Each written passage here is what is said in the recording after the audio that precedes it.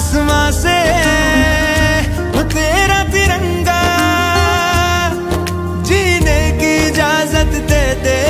या हुक्म शहादत दे दे, मंजूर